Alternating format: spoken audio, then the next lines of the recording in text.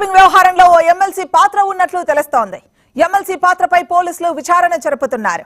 Israel నుంచి అధునాతన పరికరాలను హైదరాబాద్కు తెప్పించడంలో ఎమ్మెల్సీ కీలక పాత్ర పోషించినట్లు తెలుస్తోంది. ఎమ్మెల్సీ తన పలుకుబడి ఉపయోగించి రవిపాల్తో ట్యాపింగ్ డివైస్లను తెప్పించినట్లు గుర్తించారు.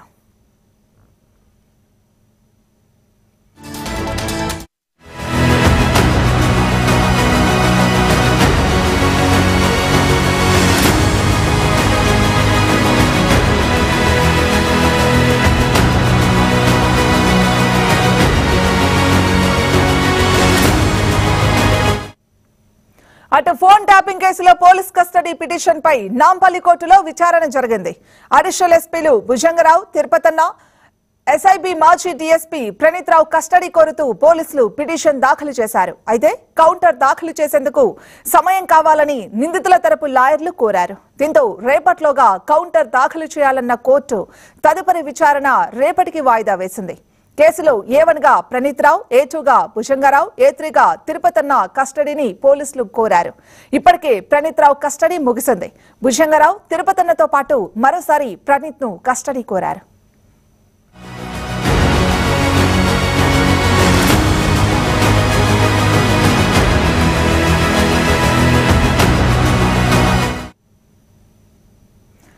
ఇదే అంశానికి సంబంధించి మరింత సమాచారాన్ని మా క్రైమ్ బ్యూరో చీఫ్ సునీల్ అందిస్తారు. సునీల్ ఈ కేసుకు సంబంధించి మీ దగ్గర ఉన్న తాజా అప్డేట్స్ ఏంటి?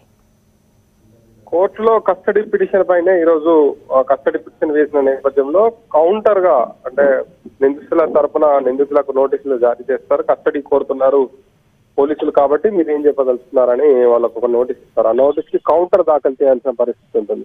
సో కౌంటర్ దాఖలు చేసేందుకు నిందితుల తరపు న్యాయవాది సమయం కోరాడు. కోరిన నేపథ్యంలో రేపటి వరకు కౌంటర్ దాఖలు చేయాలని చెప్పిన పరిస్థితి. సో రేపు నిందితుల తరపు న్యాయవాది కౌంటర్ దాఖలు చేస్తే రేపు దీనిపైన వాదనలు జరిగే అవకాశం ఉంది. అంటే ప్రధానంగా పోలీసులు వేసినటువంటి పిటిషన్లో ఏం చెప్పారంటే కస్టడీ కోరడానికి ఐదు రోజుల కస్టడీ అడిగారు. కస్టడీ కోరడానికి ప్రధాన కారణం అరెస్ట్ చేసిన తర్వాత తమకు విచారణ జరిపేందుకు సమయం సరిపోలేదు. ఇద్దరు నిందితుల ఎవరైతే అడిషనల్ ఎస్పీలు తిరుపతన్న అండ్ భుజంగరావులు ఉన్నారు. వాళ్ళిద్దరు వాళ్ళిద్దరిని విచారించే సమయం సరిపోలేదు కాబట్టి వాళ్ళను ఈ ఫోన్ టైపింగ్లో పండిత్ రావు తర్వాత రోల్ వాళ్ళదే ఉంది.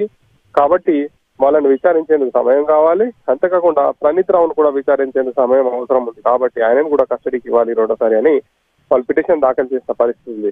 సో ఇప్పుడు ప్రభాకర్ రావు పాత్ర కీలకంగా మారడంతో ప్రభాకర్ రావు ప్రమేయం పూర్తి స్థాయిలో ఎస్టాబ్లిష్ చేయాలంటే ఇప్పుడు భుజంగరావు అంతేకాకుండా తిరుపతన్నాలు చెప్పే స్టేట్మెంట్ ఆల్రెడీ ప్రణీత్ రావు స్టేట్మెంట్లో అదే చెప్పాడు. తిరుపతన్న భుజంగరావును కూడా అదే విషయాన్ని చెప్పారు కానీ దానికి అవసరమైన టెక్నికల్ ఎవిడెన్స్ తర్వాత సాక్ష్యాలు సాక్ష్యాధారాలు సేకరించాల్సిన పరిస్థితి ఉంది కాబట్టి వాళ్ళని ఐదు రోజులు కస్టడీకి ఇస్తే వీళ్ళు విచారించి దానికి అవసరమైనటువంటి మెటీరియల్ కలెక్ట్ చేసే అవకాశం ఉంటుంది. సో దీనిపైనే రేపు వాదనలు ఇటు ఇన్వెస్టిగేషన్ ఏజెన్సీ తరఫున అంతేకాకుండా అక్యూజ్డ్ తరఫున కూడా రేపు వాదనలు జరిగే అవకాశం ఉంది. ఇంకోవైపు ఈ ట్యాపింగ్కి సంబంధించి ఒక ఎమ్మెల్సీ ప్రమేయం పైన కూడా వార్తలు వస్తున్న నేపథ్యంలో ఆ ఎమ్మెల్సీ పోలీసు శాఖలో పోలీసు శాఖకు సంబంధించిన వ్యవహారాలు చూడడంలో కీలక పాత్ర పోషించాడు. హైదరాబాద్కు సంబంధించినటువంటి ఎమ్మెల్సీ కావడము హైదరాబాద్ సరౌండింగ్స్లో ఉన్నటువంటి అందరి పో- అంటే పోలీసుల ఇన్స్పెక్టర్లు ఏసీపీలు వరకు పోస్టింగ్ల వ్యవహారాల్లో ఆయన కీలక పాత్ర పోషించాడు.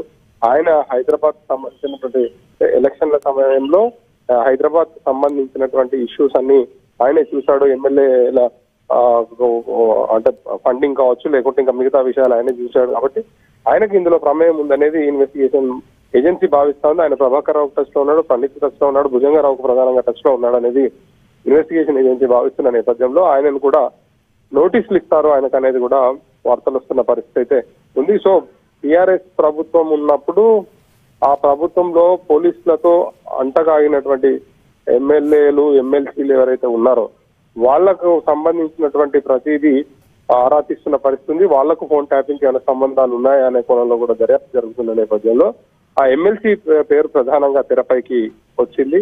ఆయన ఇన్వెస్టిగేషన్ అంటే ఇన్వెస్టిగేషన్ జరుపుతున్న తరంలో ఆయన ఆయన ఆయన ప్రమేయం బయటికి రావడంతో ఇప్పుడు ఆయనకు నోటీసులు ఇస్తారనే వార్తలు అయితే వస్తున్నాయి. రైట్ సునీల్